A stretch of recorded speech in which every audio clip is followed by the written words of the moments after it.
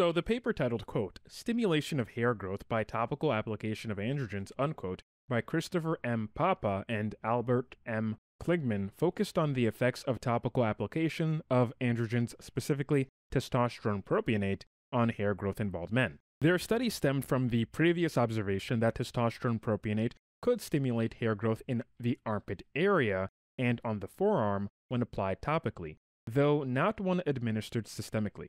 The researchers applied testosterone propionate creams to the scalp of 21 men, and this was to investigate the potential for stimulating the hair in that particular area, specifically the bald regions of the scalp. So, this study found that approximately 75% of the participants exhibited some degree of hair regrowth on the scalp, indicating that topical application of androgens, specifically testosterone propionate, could be a promising approach for treating male pattern baldness by promoting growth of longer, thicker, and more pigmented hairs in the bald areas. This supposed regrowth, and I say supposed because we'll look at what actually went on later on, but it was characterized by hairs that were longer, thicker, and more pigmented than in the previously bald areas. So, from this outcome, the researchers concluded that it's likely that testosterone and other androgens, right, and this was before a time they actually looked into DHT, but they supposed that testosterone could stimulate hair follicles to create just, you know, in general, stronger hairs. Now, this again is intriguing because we know with recent advancements, right? This is a very, very old study, but with recent advancements, we know that testosterone, maybe not it in particular, but when it turns into DHT, dihydrotestosterone, that is the primary factor in progressing male pattern baldness, also known as androgenetic alopecia, which men and women can get.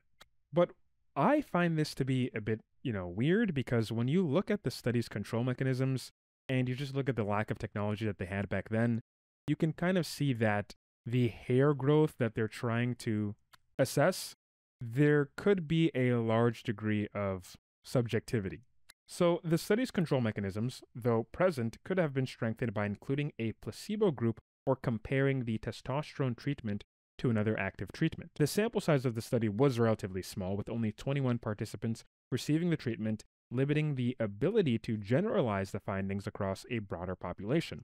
They didn't use any sort of phototrichogram. In fact, all of these assessments in terms of the progress were just made with general global photographic assessment. And when I'm looking at the photos, it doesn't really look that impressive. It's like these guys just grew out their hair. I'll try to see if I can use some AI tools to colorize the photos, but this isn't anything substantial.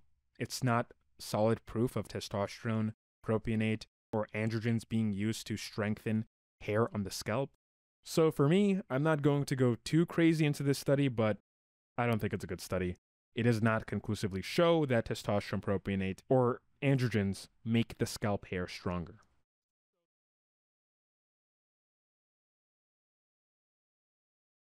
So this next part is a study that I found pretty interesting. It deals with testosterone and how it may help women who are androgen deficient grow hair on their scalps.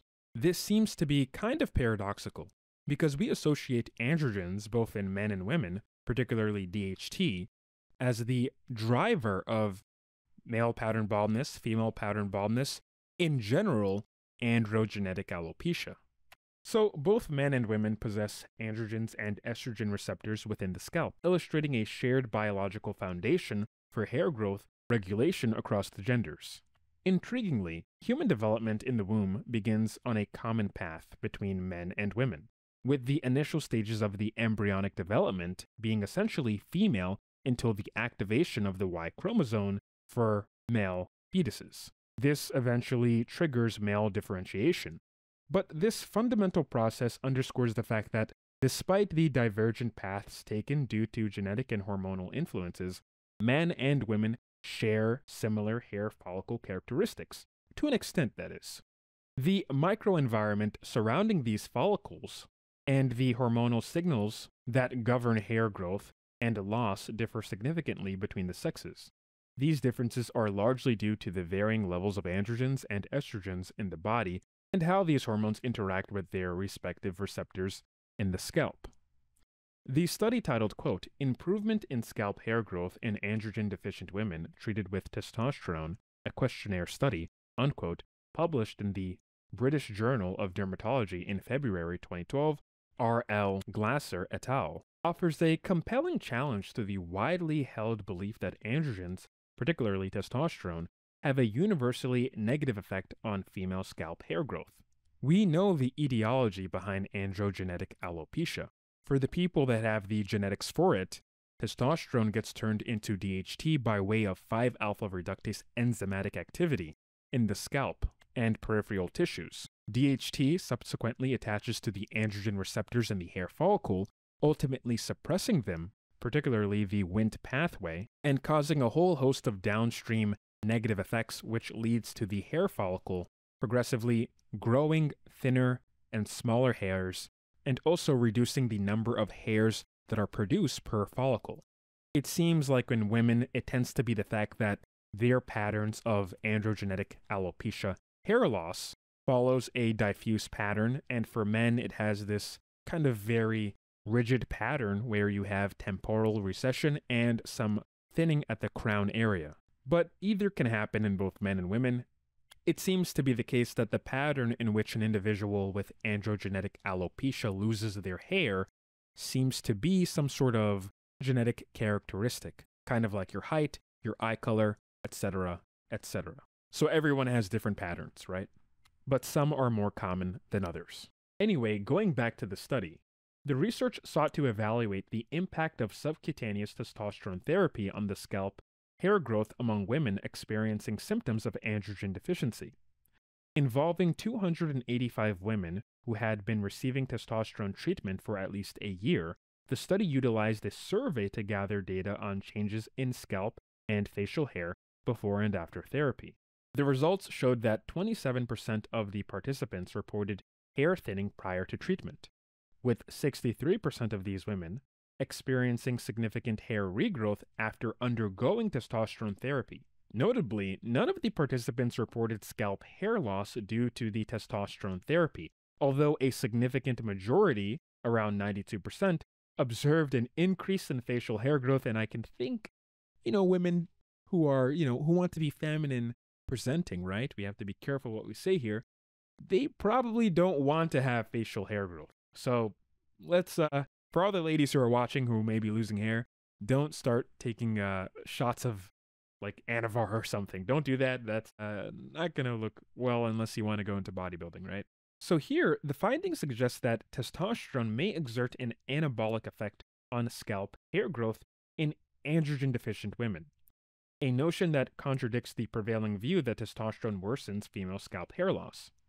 The authors speculate that this positive impact on hair growth may stem from the general anabolic effects of testosterone rather than a direct relationship with androgen levels.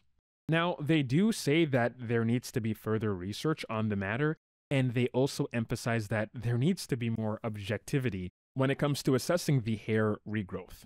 So, this seems to be an instance in the literature where we have testosterone seemingly improving hair quality, but in this case, it's in women. So we can't really generalize that specifically to all women, right? Because it's specifically androgen deficient women in this case. And we can't say that, oh, men will react the same way or women who are androgen normal will react the same way. And also, the authors mentioned that they need to be more objective when it comes to assessing the hair quality, right? Because they used a survey where they just asked the participants, hey, how's your hair doing now? Are there any improvements? And who's to say that the improvements are directly due to testosterone? It could be due to just the hair recovering from telogen effluvium or chronic telogen effluvium, where you just start losing and shedding hair, or just some other hair loss condition, right? That probably got better on its own.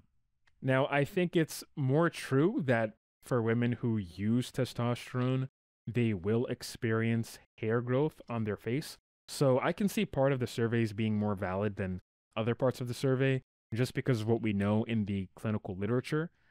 So increasing testosterone, I can only imagine, would have an anabolic effect on body hair for women.